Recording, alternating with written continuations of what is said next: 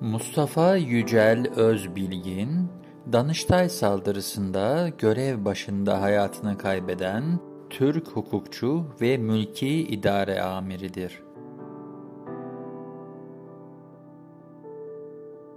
1960 yılında Yozgat Lisesi'ni bitirdi. Ankara Üniversitesi Hukuk Fakültesinden 1965 yılında mezun oldu.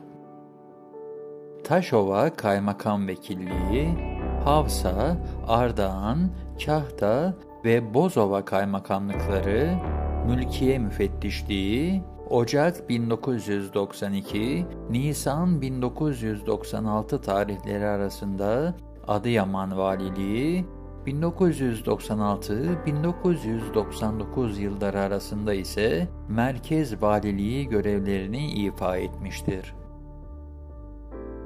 6 ay süreyle İngiltere'de bulunmuş, yerel yönetimlerin denetimi konusunda İçişleri Bakanlığı yayınları arasında yayınlanan ayrıntılı bir rapor hazırlamıştır.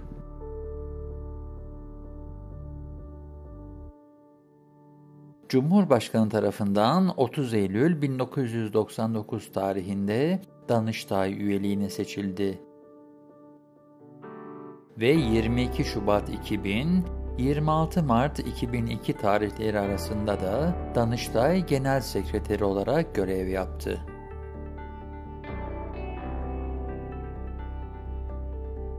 ...17 Mayıs 2006 tarihinde Mustafa Yücel Özbilgin çalıştığı Danıştay 2. Dairesi'nde saldırgan Alparslan Arslan tarafından öldürüldü.